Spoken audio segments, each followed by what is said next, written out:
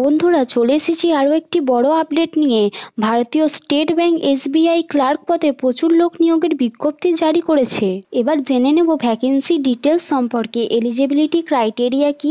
Age limit important date application fees selection process কি? Salary কত? এবং অ্যাপ্লাই কীভাবে করব? সেই সব সম্পর্কে জেনে নেব। তাই ভিডিওটি শেষ পর্যন্ত দেখুন। জুনিয়র অ্যাসোসিয়েটেড পোস্টে পাঁচ হাজার একশো একুশটি ভ্যাকেন্সি বেরিয়েছে।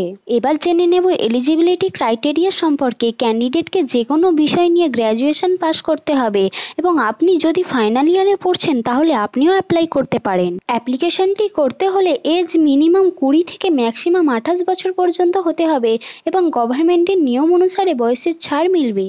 জেনে নেব ইম্পর্টেন্ট ডেট সম্পর্কে। এসবিআই ক্লার্ক পদে আবেদন শুরু হয়ে গেছে সাতাশ এপ্রিল দু হাজার একুশ থেকে এবং যেটি চলবে সতেরোই মে দু হাজার একুশ পর্যন্ত। Pre exam training call letter আপনারা পেয়ে যাবেন ছাব্বিশে মে দু হাজার একুশের মধ্যে এবং প্রিলিমিনারি এক্সামের সম্ভাব্য ডেট হচ্ছে জুন মাস এবং মেন এক্সামের সম্ভাব্য ডেট একত্রিশে জুলাই। জেনে নেওয়া যাক অ্যাপ্লিকেশন ফিস সম্পর্কে। জেনারেল ওবিসি এবং ইডাব্লিউএস এর ক্ষেত্রে সাড়ে সাতশো টাকা এবং SC ST PWD ex serviceman ও ডিএক্সএস এর ক্ষেত্রে ফিস লাগছে না। অনলাইনের মাধ্যমে ফিস জমা দিতে পারেন। এবার এসবিআই ক্লার্কের সিলেকশন প্রসেস সম্পর্কে জেনে নেব।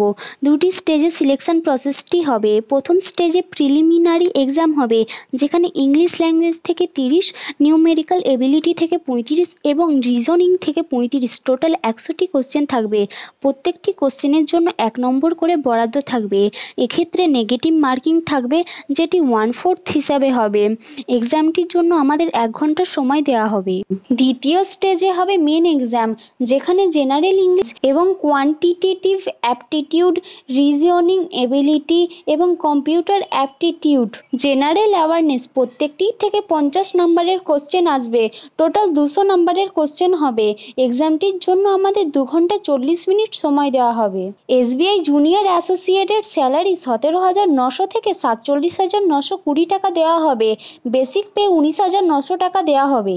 এবার জানব অ্যাপ্লাই কীভাবে করব। প্রথমে ক্যান্ডিডেটকে অফিসিয়াল ওয়েবসাইটে গিয়ে রেজিস্ট্রেশন করতে হবে। তারপর মেন ফর্মটি ওপেন করতে হবে এবং সমস্ত ডিটেলস পূরণ করতে হবে। ফটোগ্রাফি দিতে হবে যেটি কুড়ি থেকে পঞ্চাশ কেবির মধ্যে হবে। নিজের সিগনেচার আপলোড করতে হবে।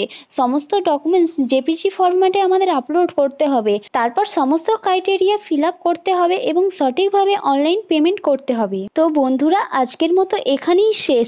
দেখা হচ্ছে পরবর্তী ভিডিওতে নতুন কিছু আপডেট নিয়ে ততক্ষণ আমাদের সঙ্গে থাকুন, বাড়িতে থাকুন, সুস্থ থাকুন ও সচেতন থাকুন। ভিডিওটি যদি আপনাদের ভালো লাগে তাহলে অবশ্যই লাইক শেয়ার ও কমেন্ট করুন।